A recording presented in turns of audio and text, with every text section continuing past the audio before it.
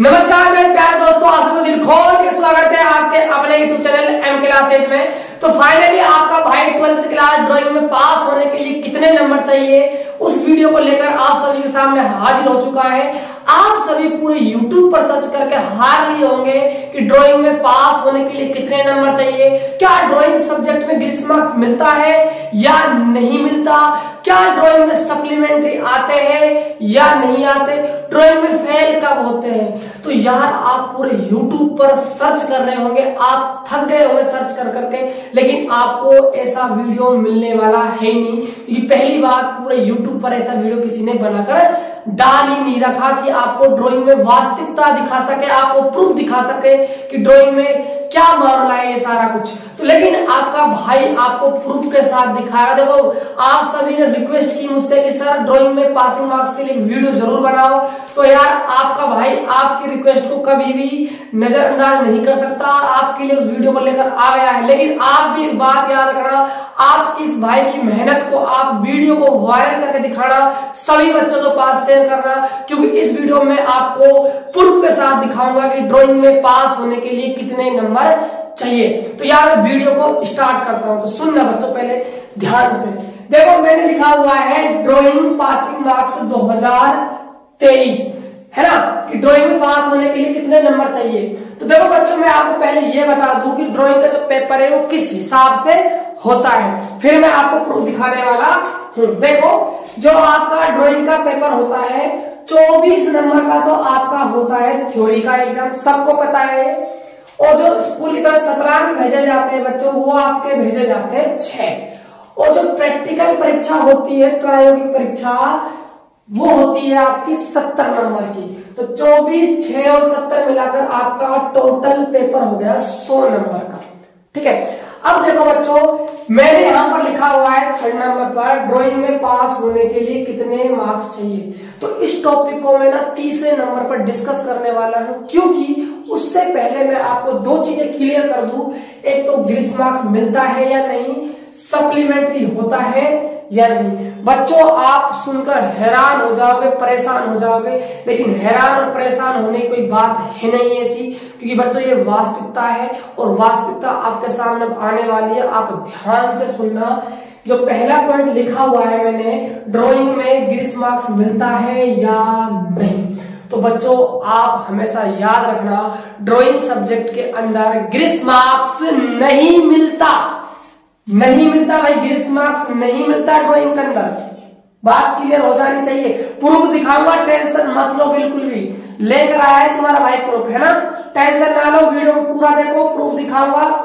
ठीक है? अगला आपका सेकंड पॉइंट है ड्राइंग में सप्लीमेंट्री होता है या नहीं होता? अरे मेरे भाई, जब ग्रीस मार्क्स ही नहीं मिल रहा तो सप्लीमेंट्री काई का मिलेगा रे बाबा? सप्लीमेंट्री भी नहीं मिलता इसके अंदर। है ना? अब आएगा मज़ा तुम्हें कहते थे, टीचर, पढ़ लो यार, पढ़ लो पढ़ लो पढ़ लो। ना पढ़े साहब हम तो। वैसे ही जाना पेपर देवा है?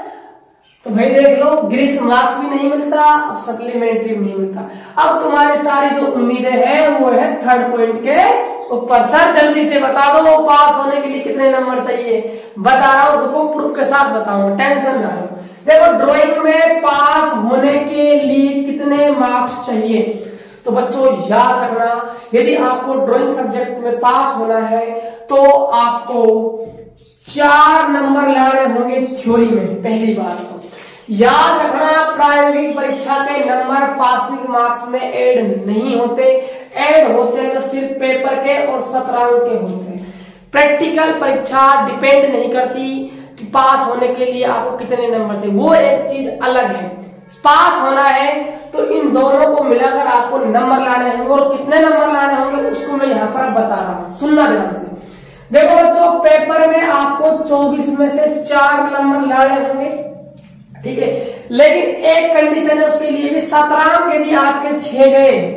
तो टोटल आपके आने चाहिए दस नंबर। यदि आपके पेपर और सत्रह मिलाकर दस मार्क्स आ जाते हैं तो आप हो जाओगे बच्चों पास।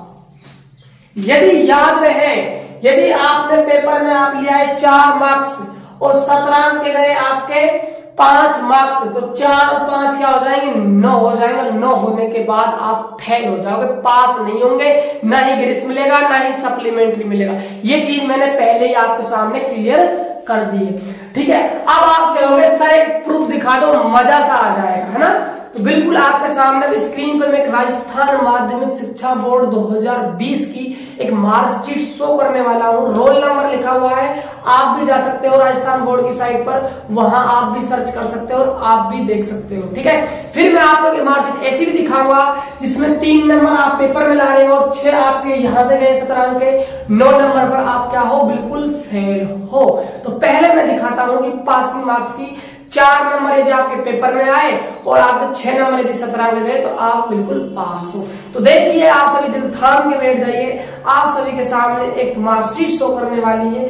जैसा कि आपको दिख ही रहा होगा, ऊपर ये राजस्थान माध्यमिक शिक्षा बोर्ड की मार्कशीट है। देखो स्टूडेंट का नाम है राहुल खान फादर का नाम है रजाक खान और मदर का नाम है हसीना। ठीक है जी? देखो, हिंदी मार्कशीट यदि आपने, पूरी देख ली होगी तो यहाँ फेल लिखा हुआ है। बच्चों, जो फेल लिखा हुआ है, उसके पीछे राज राज सुनना, राज है क्या वास्तव में? ड्राइंग में फेल नहीं है। ये फेल किसमें सुनना? देखो, हिंदी में टोटल उनतालीस नंबर है, पास तैतीस नंबर चाहिए आपको पास होने के लिए, ठीक है? इंग्लिश में बच्चों, आए सत्ताईस नंबर, ठीक है?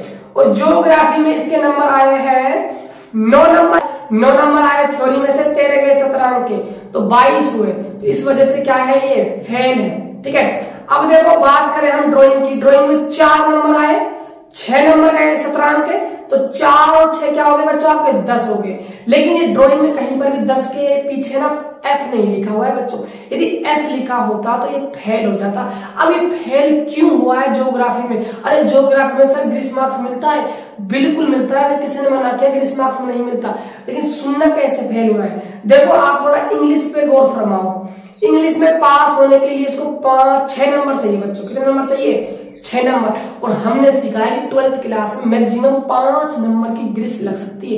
इसी कारण ये इंग्लिश में भी फेल हो गया और ज्योग्राफी में तो ये फेल हो ही गया। ज्योग्राफी में फेल क्यों हुआ बच्चों? क्योंकि ज्योग्राफी में पास होने के लिए नौ नंबर चाहिए। लेकिन जब चाहिए, जब सत्रह पूरे गए हो, चौदह के चौदह। लेकिन सत्रह तो यहाँ पर तेरह गए हैं। इसी वजह से एक नंबर से यहाँ पर ये फेल हो गया। एक नंबर से यदि फेल यहाँ, एक नंबर चाहिए था और इंग्लिश में छह नंबर नहीं चाहिए थे तो ये पास हो जाता बच्चों। फिर इसको ग्रीस मार्क्स दे दिया जाता। लेकिन आप ध्यान दो अपने ड्राइंग सब्जेक्ट पर। ड्राइंग में चार नंबर आए, छह नंबर गए सत्रह अंक के तो चार और छह, दस हुए, लेकिन ड्राइंग में कहीं ये फेल नहीं है बच्चों। इसका मतलब क्या समझे कि चार नंबर यदि आपके सत्रह अंक आते हैं सॉरी चार नंबर यदि आपके थ्योरी में आते हैं, छह नंबर आपके सत्रह अंक भेजे जाते हैं तो आप बिल्कुल पास हो। अब मैं आपको दिखाता हूँ, जैसा कि मैंने आपके सामने फोर्थ पॉइंट लिखा ही हुआ है ड्राइंग में फेल कब होते हैं? अब मैं दिखाऊँगा आपको फेल दस से कम नंबर है दोनों को मिलाकर तो आप फेल हो गए अब देखो, आपकी स्क्रीन पे दूसरी मार्कशीट आ रही है फेल वाली, जिसमें ड्राइंग में फेल हुआ है बच्चा। सुनो, देखिए, ये होगी स्क्रीन पर मार्कशीट आपको। नाम है स्टूडेंट का हिमांशु शर्मा फादर का नेम है राजेश कुमार शर्मा मदर का नेम है नवीन शर्मा। हम देखो, बात करें हिंदी में कुल तैतीस है, इंग्लिश में इक्कीस है है ना? और बात करें हम ज्योग्राफी में सोलह है, थ्योरी में आए, चौदह सत्रह गए, तीस हो गए, और बात करें हम ड्राइंग की, है ना? तो देखो ड्राइंग देखो आपको बच्चों ड्राइंग में। ड्राइंग में तीन नंबर आए इसके, थ्योरी में, छह नंबर गए सत्रह अंक के। कितने हो गए टोटल नौ नंबर। और नौ के पीछे बच्चों क्या लिखा हुआ है? एफ़ लिखा हुआ है। इसका मतलब ये क्या है? ड्राइंग में फेल है। और ड्राइंग में फेल है तो बच्चों, ये पूरा ही ऑलरेडी फेल हो चुका है। क्योंकि ड्राइंग में ना ग्रेस मार्क्स और सप्लीमेंट तो मिलता नहीं है। यदि ड्राइंग में फेल है तो बाकी में चाहे पास हो रहा हो, लेकिन जो ये पूरा टोटल होगा, वो फेल माना जाएगा।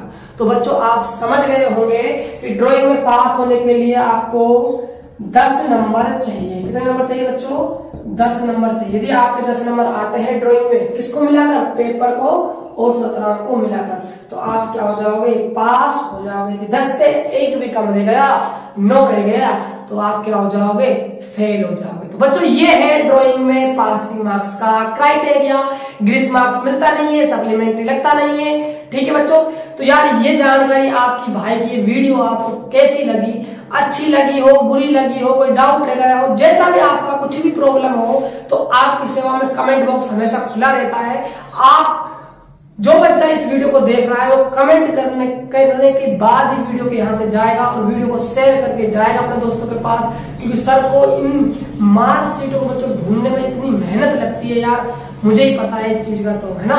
वीडियो आपके लिए मैंने बनाई, आपने रिक्वेस्ट करी तो अब आप सर की हेल्प करो। जितना हो सके इस वीडियो को अपने दोस्तों के पास शेयर करना। ठीक है? तो मिलते हैं यार और नेक्स्ट वीडियो के साथ, तब तक के लिए जय हिंद, जय भारत।